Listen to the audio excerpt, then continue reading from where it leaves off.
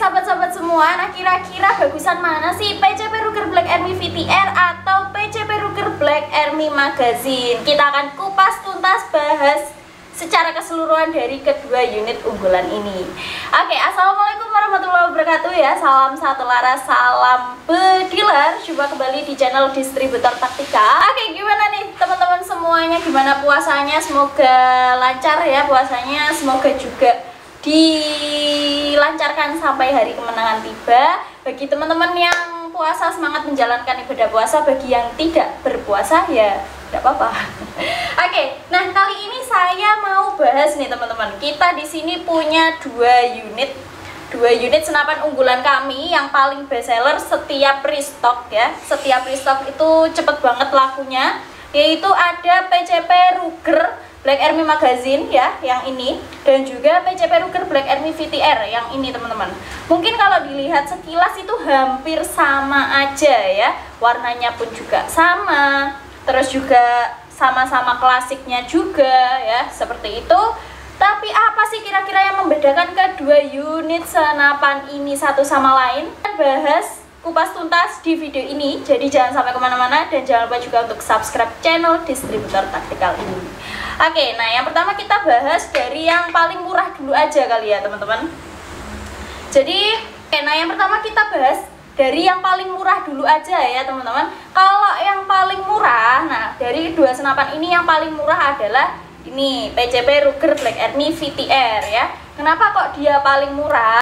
Mungkin karena dia ini versi yang single shoot ya. Jadi untuk PCP Ruger Black Army VTR ini versi single shoot, masih single shoot ya. Sedangkan untuk PCP Ruger Black Army Magazine ini sudah magazine. Untuk harganya juga ada selisih. Untuk PCP Ruger Black Army VTR dibanderol di 1,8 juta rupiah. Sedangkan untuk PCP Ruger Black Army Magazine dibanderol di harga 2,5 juta rupiah untuk harga normal. Tapi tenang saja teman-teman bediler, selama bulan Ramadan ini kita lagi ada promo spesial Kalian bisa mendapatkan PCP Ruger Black Army Magazine hanya di harga 2,2 juta rupiah. Sudah bisa dapat unit only, bisa langsung bawa pulang ya teman-teman kayak gitu. Oke, untuk selanjutnya kalau dari segi power ya 11-12 lah ya teman-teman. Untuk dari segi power sama-sama bagus, namun untuk uh, eh, PCP Ruger Magazine ini jauh lebih unggul kalau menurut saya ya dia ini support untuk big game support juga untuk berburu hama besar seperti babi biawak ya seperti itu. Dia ini support. Sudah banyak testimoni juga.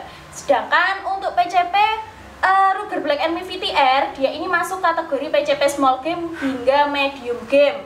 Kalau untuk big game dia ini masih kurang ya teman-teman. Bukan berarti tidak bisa tapi kalau menurut saya masih kurang. Dia ini kelasnya kelas medium game ya seperti itu.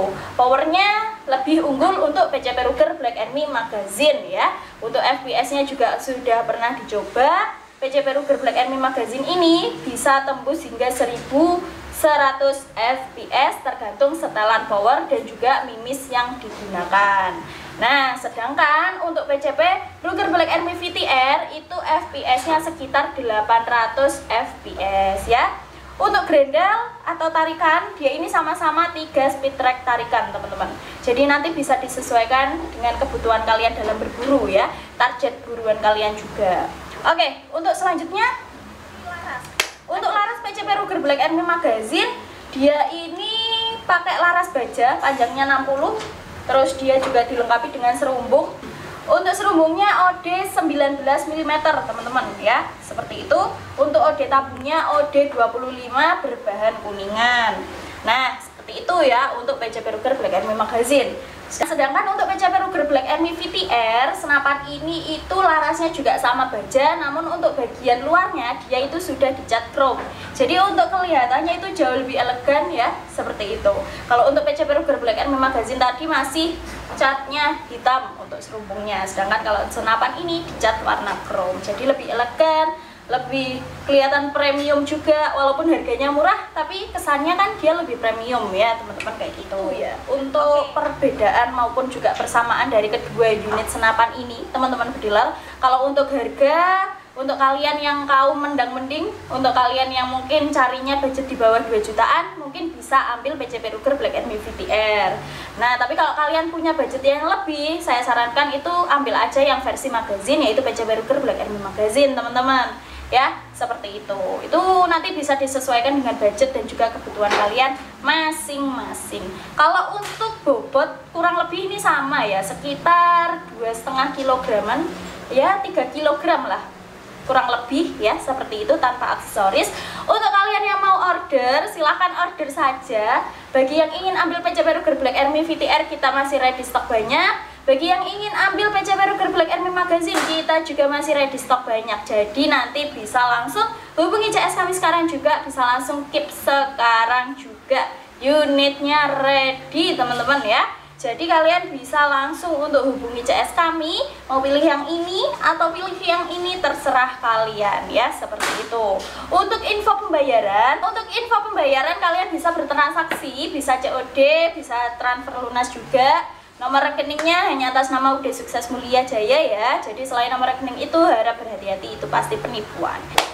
Oke, teman-teman pantau terus channel ini. Jangan lupa juga untuk subscribe ya. Untuk katalognya, katalog senapan untuk koleksi-koleksi terbaru kalian bisa save nomor CS kami karena itu jauh lebih update ya, lebih cepat, lebih gercep ya teman-teman kayak gitu. Oke, mungkin sekian dulu informasinya. Terima kasih banyak dan salam satu laras.